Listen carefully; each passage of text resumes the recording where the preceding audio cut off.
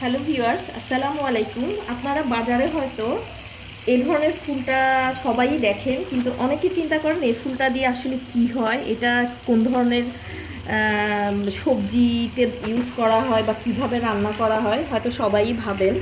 কিন্তু কীভাবে এটা এটা এটা আসলে কি ফুল, এটা অনেকেই চিনেন না, আমাকেও অনেকে প্রশ্ন করেছে।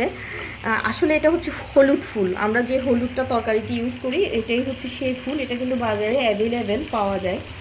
তো এই ফুলটা আজকে আমি আপনাদেরকে ভর্তা বানিয়ে দেখাবো।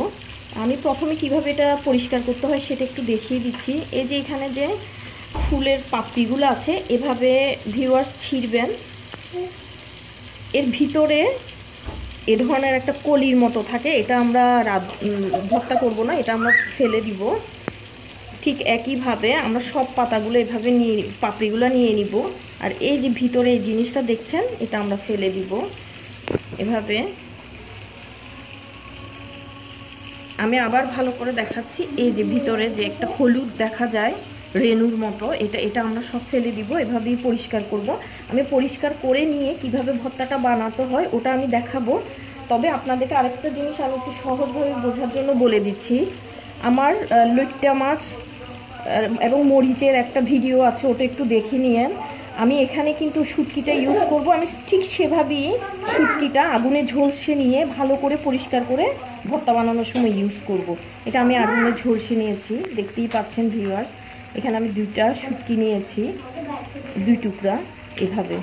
তো আমি ভর্তা বানা পরিষ্কার করার পর ভর্তা বানিয়ে, বানাচ্ছি। ফিরে আপনাদেরকে ভর্তা বানানোটা আমি দেখিয়ে দিব। তো ভিউয়ার্স দেখতেই পাচ্ছেন, আমি এভাবে পরিষ্কার করে চিকন চিকন করে কুটিয়ে নিয়েছি। আমরা, আপনারা চাইলে আরও চিকন করে কুটে নিতে পারেন। তো আমি এ পর্যায়ে যেটা করব, সেটা হচ্ছে কি, সামান্য পরিমাণ লবণ দিয়ে এটাকে আমি কষলে নিব।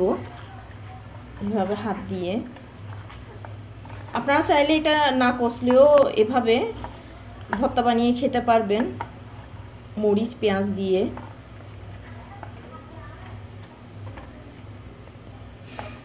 এক পাশে নিয়ে আসলাম। আর এক পাশে আমি যেটা করব সেটা হচ্ছে কি, আমি আগে থেকেই শুকনা মরিচ ভেজে রেখেছিলাম। এটা তো আপনাদেরকে দেখিয়েছি, শুটকি, আগুনে ঝলসে ভালো করে পরিষ্কার করে কাটা ছাড়িয়ে আমি এভাবে কুচি কুচি করে কুটি নিয়েছি। আর নিয়েছি কয়েক টুকরা রসুন। এটাও আমি আগুনে ঝলসে নিয়েছি বা তাওয়ায় আপনারা এভাবে একটু ছেঁকে নেবেন।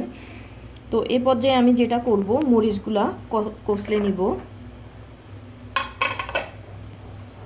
আর পেঁয়াজ অবশ্যই লাগবে।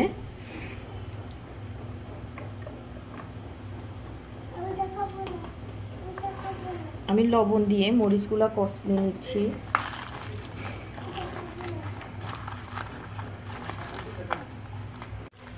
তো ভিউয়ার্স দেখতে পাচ্ছেন, আমি মরিচের সাথে পেঁয়াজগুলোও ভালো করে কষলে নিচ্ছি।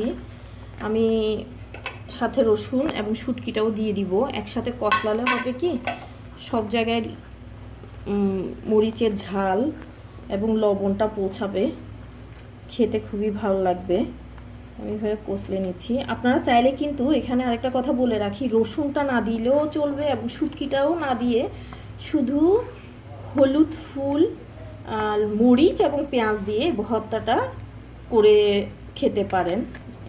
আমি একটু রসুন দিয়েছি। আমার শ্বশুর শাশুড়ি একটু বয়স্ক, যেহেতু রসুন হাড়ের জন্য খুবই ভালো। যে কোনো, তাই আমি যে কোনো ভর্তা একটু রসুন ইউজ করি। এখন ওনারা এটা খাবে বিধায়। আমি কিছু রসুন অ্যাড করেছি।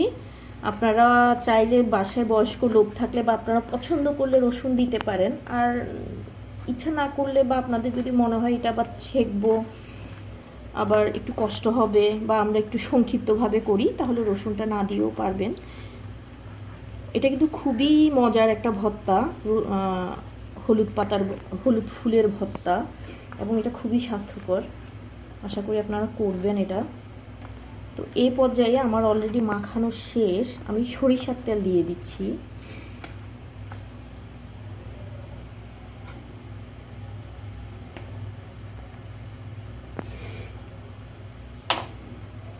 আমি দিয়ে দিচ্ছি সরিষার তেল। সরিষার তেল একটু বেশি করেই দিব, বেশি দিলে ভালো লাগে খেতে। যেহেতু এখানে শুটকি আছে, ভাজা রসুন আছে, খুব সুন্দর একটা ফ্লেভার বের হচ্ছে।